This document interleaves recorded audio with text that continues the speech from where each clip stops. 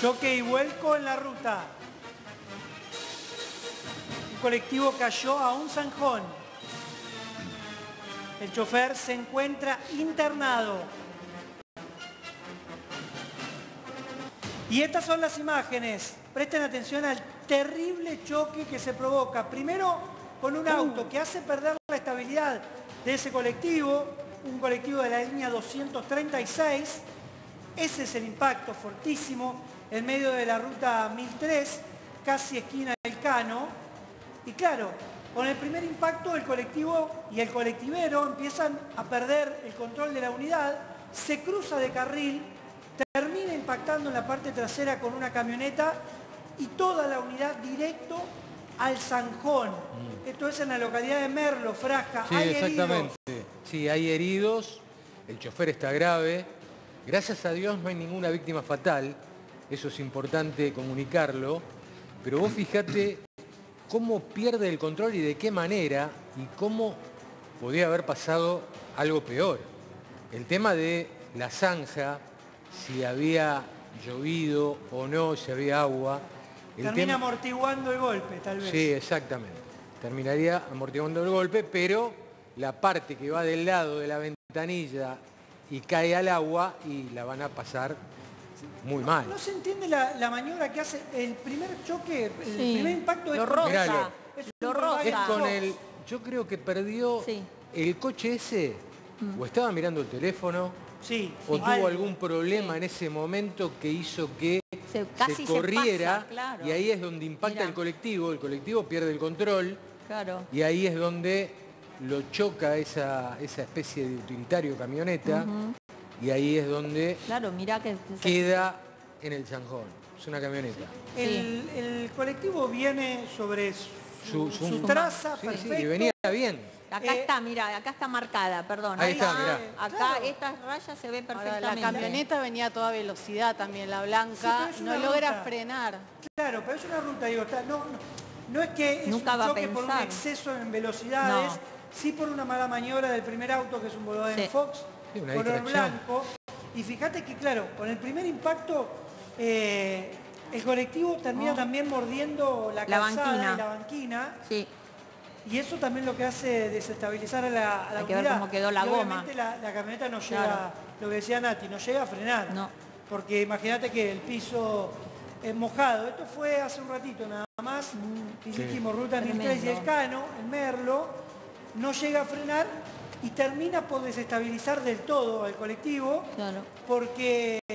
Sí, lo sorprendió porque yo vuelvo a repetir, el vehículo ese que choca en primera instancia al colectivo, que se cruza para la otra mano, yo creo que estaba o mirando el teléfono o, distraído.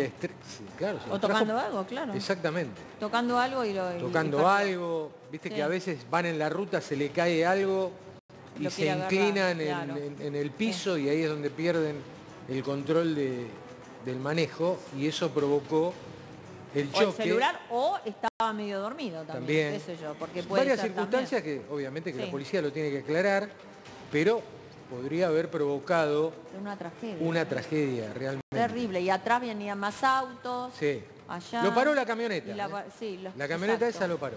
Lo para también. Que fue el impacto que le pega a la camioneta en la parte mm. trasera, porque quizás ahí, quizás si no hubiera impactado esa camioneta, este, en la parte trasera no hubiera complicado y, perder el control, porque te pegan a la parte trasera, pierde el control y vuelta. Mirá cómo, vamos a ver ahora, a compartir las imágenes de cómo quedó el micro una vez ya volcado. Obviamente tuvo que intervenir bomberos, policía, fíjate, en el medio de la zanja, ahí están tratando de sacar al conductor. El golpe, el primer golpe le da de lleno porque es justo en el, costado, del, costado del colectivero.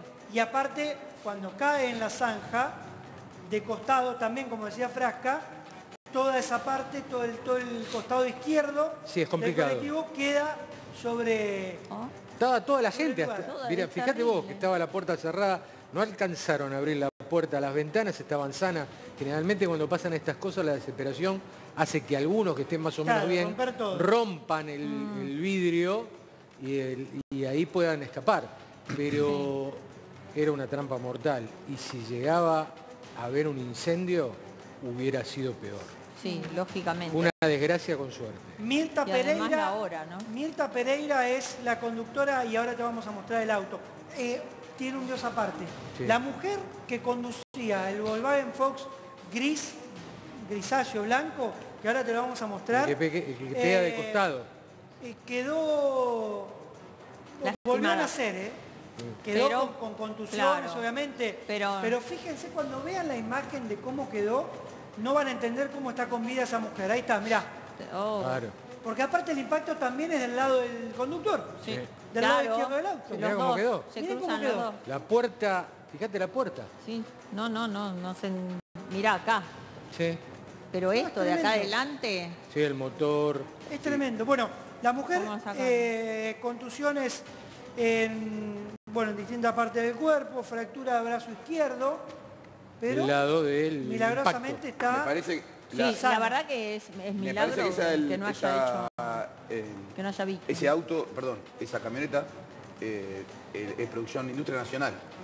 Es una de las pocas que se hace en la Argentina, me parece. ¿eh? ¿Cuál La decimos? que choca última. La que La choca última. última. Y que es una buena propaganda volcar. para la industria nacional, digo, porque si tiene ese nivel de seguridad, Mm. Pero- porque es una de las pocas pero que acá se hace. es un milagro que no haya. El, el colectivero estaba sacándolo con un cuello ortopédico, Sí. que es algo. Daniel bueno, Gauto, algo- 41 años, sí, el, el es algo colectivero. Pero Y después de eso Mirá, rescataron al resto de los, de los pasajeros. eso fue hace un ratito, digamos que no era hora pico, porque si No. es en hora pico también es una tragedia. Sí, no, no. hubiera no. sido, en muy pocos lugares de- hubiera sido peor. en muy pocos lugares de los países desarrollados las rutas siguen siendo así. Mano ¿Con zanja o mano No, contra mano y mano? contra. decís? No tenía banquina, ¿no? Me parece. Tiene un poco de banquina, pero, hay, un desnivel. Fíjate Sí. ahora en el video lo ves. Hay un desnivel entre la tierra y el asfalto. Claro. Como Y mordido. eso también lo que hace morder. Sí. Sí, La- sí, ese es el atraso de infraestructura de Argentina, que uno parece que no, que no es importante, pero... Y está parado, No tiene está, parada la obra. Claro, No hay.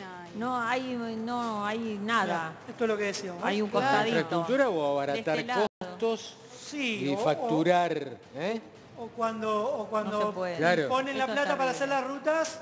Y se guardan un ¿no, flaca? pedacito. Sí, claro. sí. Exacto. Sí, el cemento es el único lugar el, el cemento cuesta como piedras preciosas, digamos, en Argentina. Si haces el cálculo final, Sí. eh, de, de, te vas a dar cuenta Sí, que un está hecho lomo con de burro te oro- sale- está hecho con oro en polvo. un departamento te sale Sí, un sí, lomo de Tener burro. una banquina tal vez te evita este tipo de accidentes. Mirá, lo que dijo. Ernesto tiene razón, porque fíjate vos en el video, si lo podés poner de vuelta, vamos a ver, fíjate vos la camioneta, ni se movió. Mm, Mirá, sí. fíjate, ¿eh? Aguantó. Mirá, pero mirá, nada. Quedó ahí. Se movió, bueno, se movió. Razón. Claro, pero Claro. era un colectivo. Pero igual no iba tan rápido, Era un porque colectivo. fíjate que iba pegado, no iba tan, me parece.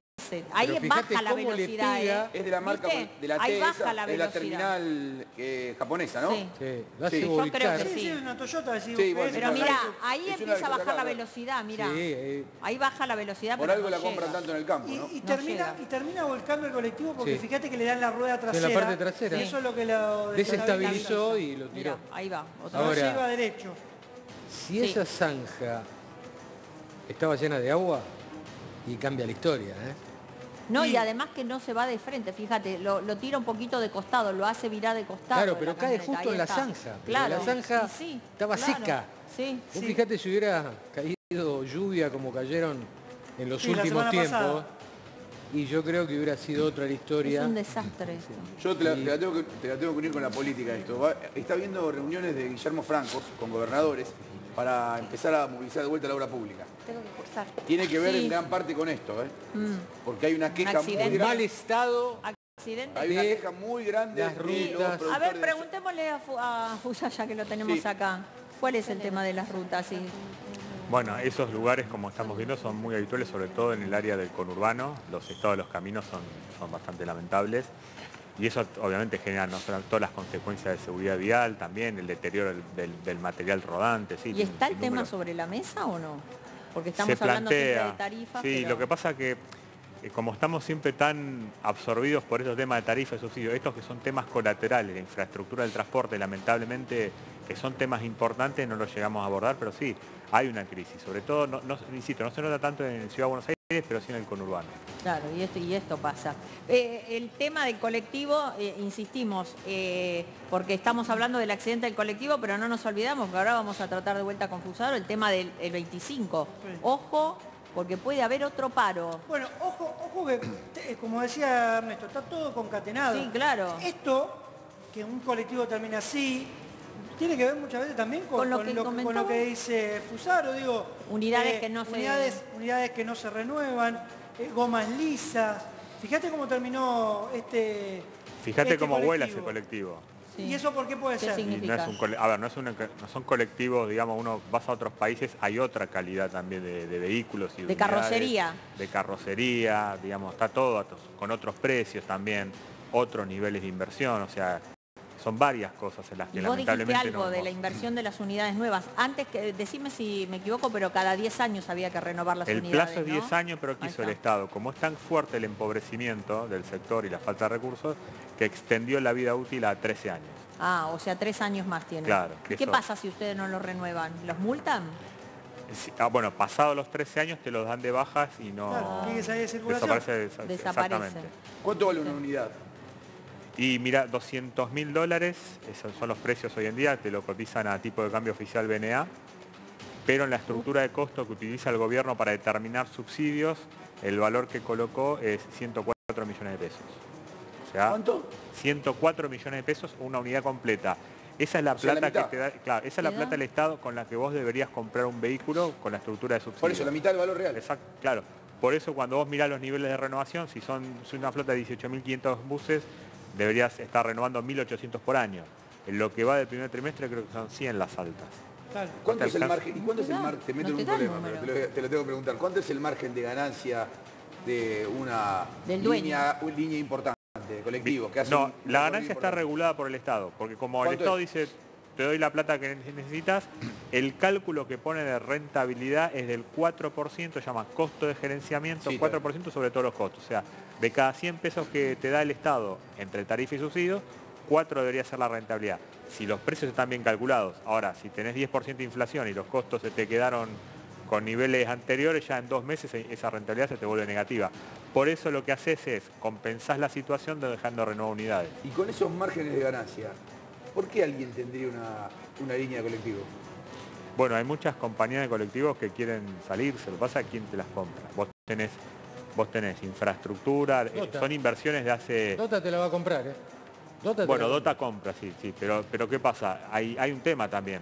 La gran mayoría, pero es un caso especial, pero la gran mayoría de las empresas son, tienen infraestructura, predios, material que han acumulado durante años, pues son eh, familias de colectivos que vienen de toda la vida. Entonces, todo- todos esos bienes, si vos lo tenés que poner en valor, son carísimos, pero una empresa vale por el flujo de fondos que genera. Claro. Entonces, estás en una situación en- entrampada. En Por eso tampoco nadie quiere entrar de afuera. En estas horas hubo un nuevo diálogo con la Secretaría de Transporte y que ustedes han ofrecido nuevamente que no les den subsidio, pero tener una tarifa acomodada. Nosotros hemos tenido conversaciones la semana pasada. En realidad tenemos bastante diálogo con la Secretaría de Transporte, eso hay que reconocerlo. El tema es que obviamente se plantean los problemas, pero no están las soluciones. Nosotros lo que decimos, mira, entendemos que el Estado no tiene plata, no somos, vivimos en el mismo país, saquemos los subsidios y que la tarifa, y que el subsidio esté orientado a quien no la puede pagar la tarifa. Mira, yo me acordaba hace 30 años cuando iba al secundario, el- había un El famoso boleto. alfajor eh, de dos colores, no quiero decir el nombre, Sí. Que valía 50 centavos.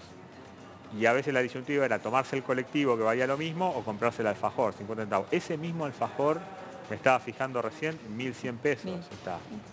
Entonces, volvemos al tema de los salarios que se hablaba hace un rato. No tenemos un problema cuando hablamos de 1.000 pesos, 1.200 pesos. No, no está mal, son valores que aparte son normales en otros países, incluso acá en Sudamérica. El problema es que ha quedado tan atrasado el salario que obliga, bueno, ¿cómo cubrís la diferencia? Y bueno, ahí aparece el, el esquema del subsidio. Pero ahora el Estado tampoco tiene plata. Entonces, estamos entrampados en esta situación. Mientras tanto, el servicio se deteriora. Y el Pero el 20 Estado, le, pará, pará, el Estado le sigue dando el 70%. Era un 90 en un principio, ahora un 70. Claro, pero ¿sabes qué pasa? Es, ese monto que, que te da Sí. no es el que debería ser acorde a los precios y a los costos reales de la operación. Entonces, ¿cuánto te da el Estado hoy? 450 pesos de subsidio por viaje. Después tenés unos 200 pesos más, que es el boleto promedio, sacando todos los descuentos, porque hay mucha gente que viaja por